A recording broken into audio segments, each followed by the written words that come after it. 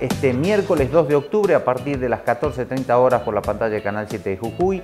Te invitamos a que nos acompañes a disfrutar de una nueva edición de 30 denarios, ya que hablaremos sobre una importante jornada que está organizando los jóvenes pertenecientes al Consejo Profesional de Ciencias Económicas de Jujuy.